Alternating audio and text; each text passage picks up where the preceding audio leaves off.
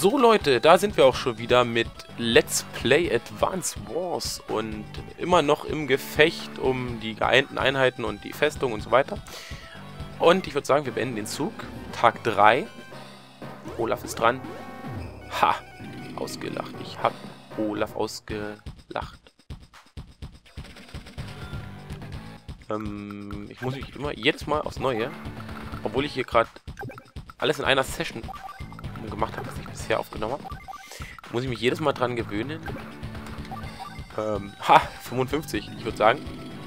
Tschirkowski. Ähm, dass ich äh, nicht als Analogpad nutzen kann, sondern das Digitalpad. Ähm, wisst ihr was? Auch wenn es eigentlich eine Verschwendung ist. Einfach weil ich weiß, dass ich da Deckung 0 habe, greife ich jetzt mit der stärkeren Einheit von dort aus an und habe dort alles bis auf 1 reduziert. Super. So. Tadam, tam, tadalam, tam. Tadalam, tadalam, tam, tam, tadam, tam, tadalam, tam. Natürlich. Schicken wir den da runter.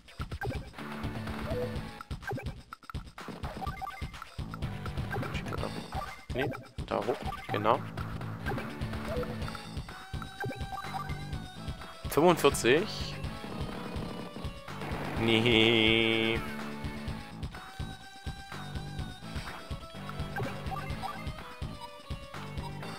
...27. Nee, wir mähen den dort erstmal weg. Ich meine, natürlich sind das Verluste und wir werden wahrscheinlich in der nächsten Runde wird er uns angreifen, weil er hat er wieder 8 Einheiten da oder so. Aber ich meine, er hat noch 3 Einheiten, ne? Was will er tun? Ach, er eint die Einheiten sogar. Naja, wenn er meint, dass es gut ist, wenn er sie eint. 21%. Könnte knapp werden. Ah, dachte ich mir.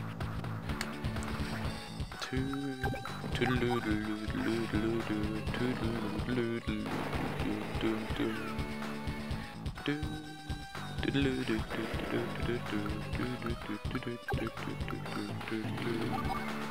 57 Prozent, ja, das wird richtig heavy. Hier, la la la la la la, das Ohrwurm ist catchy. Die Musik, die ist richtig gut, richtig, richtig, richtig gut, richtig, richtig gut, richtig, richtig. Ich kann nicht singen. Boah, ich hasse es. Irgendwie schaffe ich es nie mit so einer Musik mitzusingen. Einzige Musik, die ich kann, ist wirklich die, ist die Golden Sun Musik. Die Streitkräfte vom Blue Moon wurden zurückgedrängt. Es war von höchster Wichtigkeit für uns, dieses Gebiet einzunehmen. Du hast sehr gute Arbeit geleistet. Mach weiter so. Nell. Also sie hat doch ihre Hand im Spiel. Das erklärt, weshalb dieser Trupp solch unerwarteten Ärger machte. Das ist unverzeihlich. Nächstes Mal zeige ich ihnen meine wahre Macht. Denkt an meine Worte. Denkt daran. Tempo, Kraft, Technik. Ja, Tempo hätte... Na gut, das passt schon.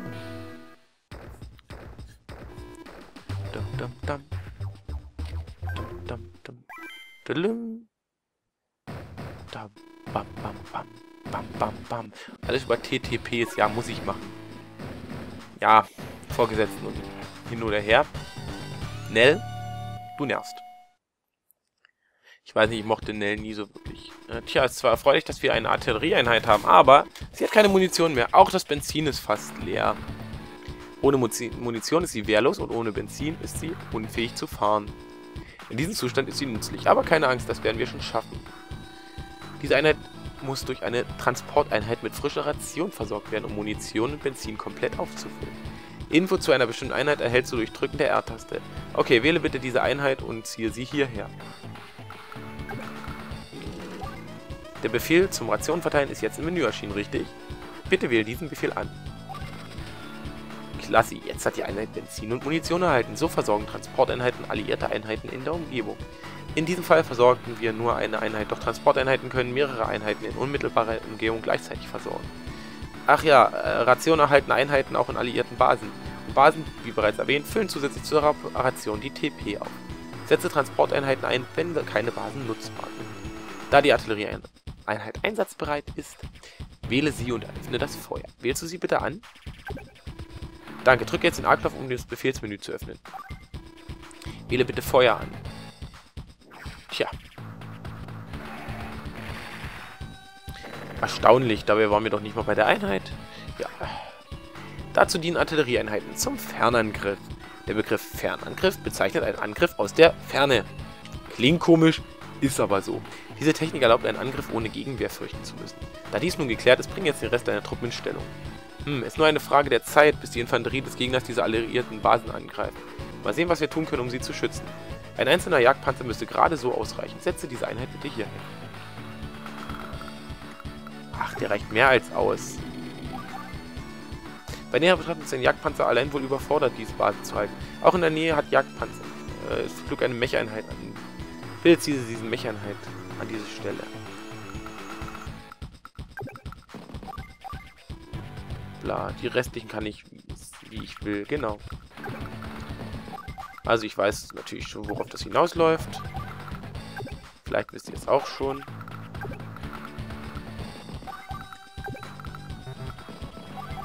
So, zack. Diese blöde Nell. Du kannst wohl nicht anders, als mir immer meinen Weg zu kreuzen. Meine Truppen werden dich zerquetschen wie eine Fliege. Ach, Olafchen, hab dich mal nicht so. Olaf. Du bist am Zug. Äh, das will ich nicht. Ich will erstmal gucken. Ach so. Ja. Ja, setze diese Einheit hierher. Frachtbefehl ist jetzt... Ja, bitte wähle diesen Befehl. Die Transporteinheit hat jetzt, jetzt die Mech-Einheit als Fracht aufgenommen.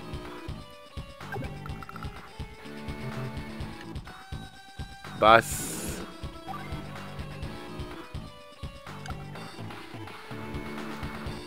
Ähm... Kann ich jetzt machen, was ich will, genau. Angriff. Peng.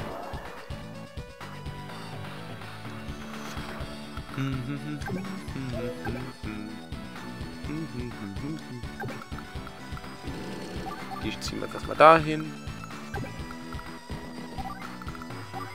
Diese Einheit ziehen wir dahin.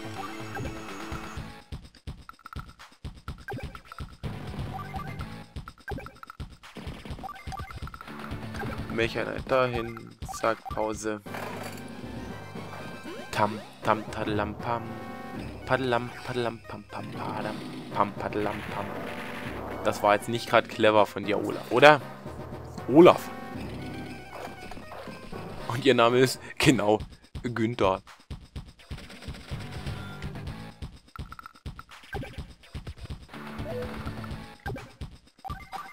Ja, okay, wir schießen jetzt einfach die da weg.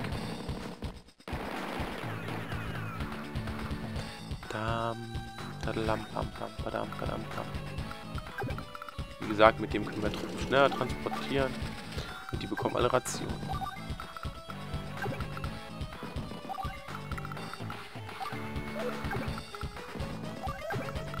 Äh, wir greifen ihn jetzt trotzdem an.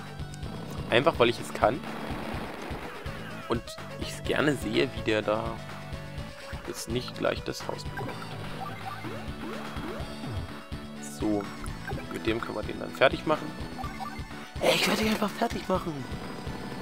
55, ne? Also, ah, gerade so.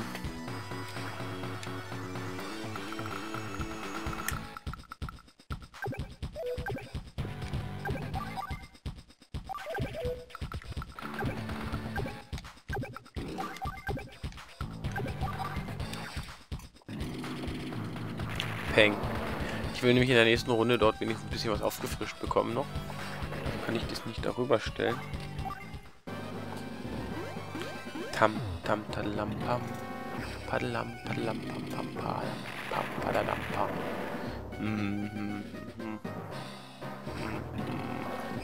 Na gut, aber wenn er da steht, dann kann ich ihn angreifen. Und dann könnte es passieren, dass er ziemlich blöd aus der Wäsche guckt. Genau, das dachte ich mir fast. 52.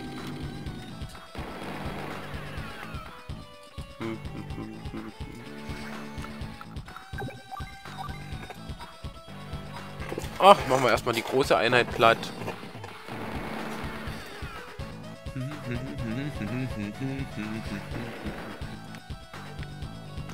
Hier die Mecha-Einheit da ist, ist hier alles vorbei.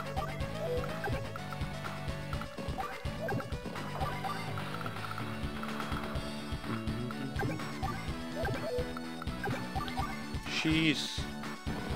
Ach, der hat da unten noch... Ich glaube, ich habe da gerade was gesehen. Das dachte ich mir fast. Ist mir jetzt aber egal. Ich werde seine Einheit da angreifen.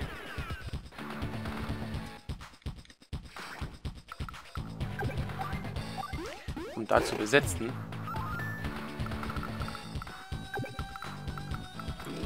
So. Und jetzt kann er gar nichts mehr machen. Also nicht, nicht wirklich. Er kann mich jetzt natürlich da unten angreifen. Und jetzt auch machen. Genau. Das dachte ich mir.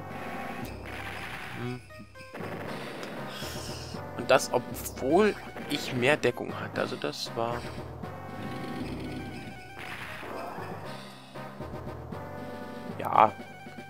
Äh, TTPs erhal äh, erhalten sehr viel aus, also eine Höhe, hohe Verteidigung oder sowas in der Art.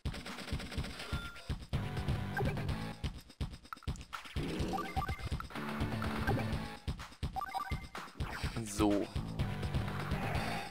Weg damit.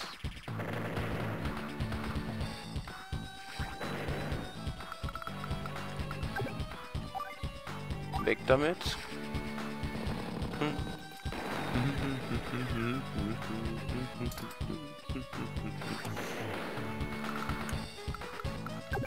Boah, irgendwie bin ich gerade voll im Hype dieses Spiels. Ich frage mich, warum ich das so lange nicht gespielt habe.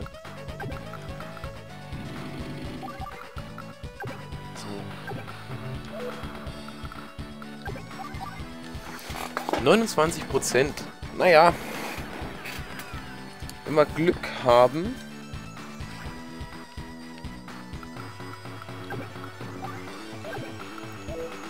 Wenn dann von da.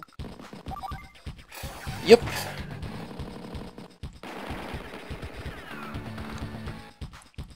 Das ohne Wasser was machen kann nächste Runde.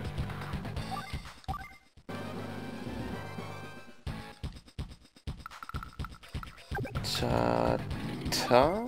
Guten Tag. Und das ist halt das, ähm, Fernkampfeinheiten sind natürlich dann im Nahkampf wehrlos. Um nicht zu sagen, sie sind wehrlos. Sie haben keine Chance.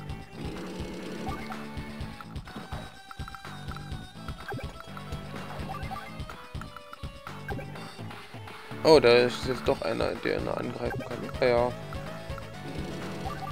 Kann man nichts machen.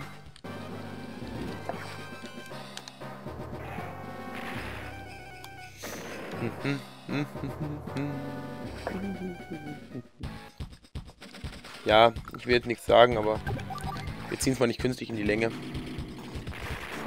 Weg damit.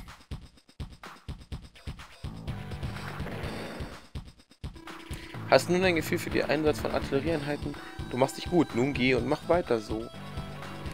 Grrr. Nächstes Mal. Ja, nächstes Mal. Sieg. So. Da sich hier aber jetzt gerade ein äh, Schnitt besser macht als sonst irgendwo, würde ich sagen, bestehende Daten speichern. Ja,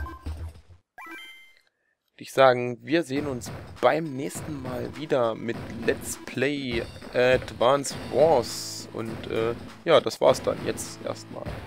Bis dahin und tschüss.